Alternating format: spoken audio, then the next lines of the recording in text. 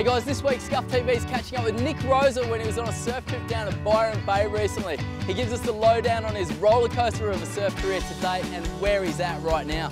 We got some bonus footage for you at the end of the clip though. Skuff TV is rolling a competition where you can win a penny and nickel skate quiver. All you got to do is go to the URL below, facebook.com forward slash Skuff TV, like the page and follow the prompts. Let us know what colour the guy's wheels are that he's riding in the clip at the end of this one. The competition is going to be drawn on the 12th of December and we're going to be announcing the winners in the final episode of Skuff TV for 2012. Good luck.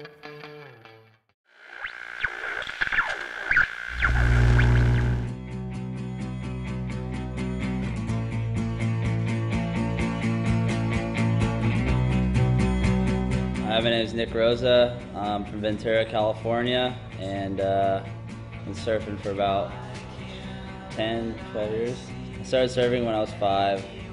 Basically, my dad was really into surfing. You know, his whole life he was just uh, always in the water, always fishing, doing stuff. You know, just the Aquaman. He always take me out on days it was too big for me, you know, I'd be scared. Sometimes he would he would take me out when it was bigger. He'd make me hold his leash and paddle out. And I'd just be so scared. Just, just heart would be in my throat. I'd be freaking out. I thought I was gonna drown.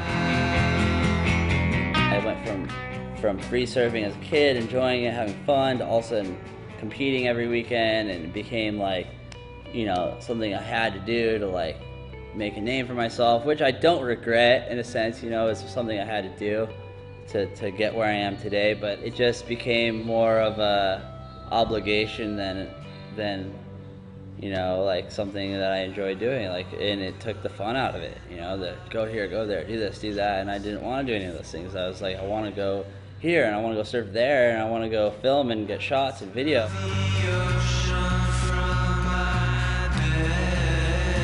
know, got into alcohol and drugs for a little while, and did that, and got kind of sucked into like the wrong influences. So I was 22 and I got dropped by majority of my sponsors. At that point, I remember I was actually really happy. Don't have to compete, don't have to go here, don't have to go there. As soon as I got dropped by Reef, you know, it hit me, it dawned on me that I had nothing left, you know. All my, all my work, all my hard work, everything I had done, you know, up to that point was gone.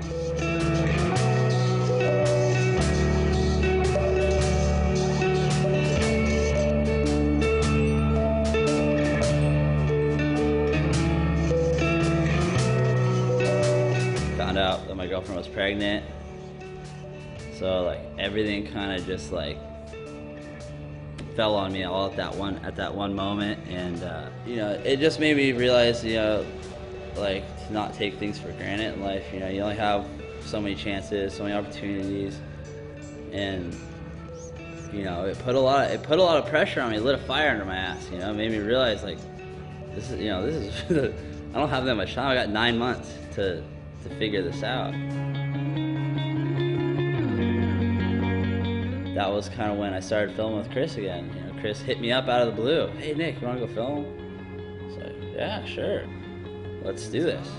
You know, I, I got some really good waves and, and scored, and um, that kind of made me wake up and realize like, hey, this is this is what I'm good at. This is what I do.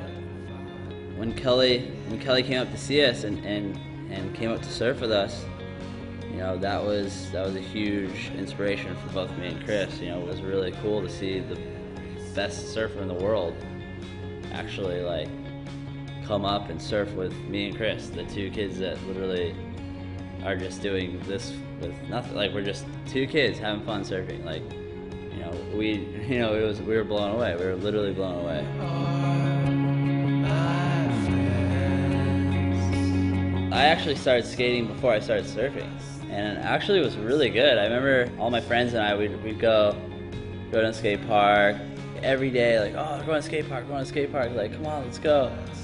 I've always liked skateboarding, and I like Penny's vibe. I like the whole, you know, the whole look of the whole thing, like just everything, the whole vibe of it is just awesome. And that it just to me like it, it just it, you know it was, it was two put two and two together it just was it, it made sense it made really good sense so the future for me is just looks like, you know, I got Chris with me, my filmer, and my, one of my best friends, and we're just gonna be surfing, skating, filming, cruising, having fun, you know, carefree, just doing our thing, enjoying life, and just documenting it.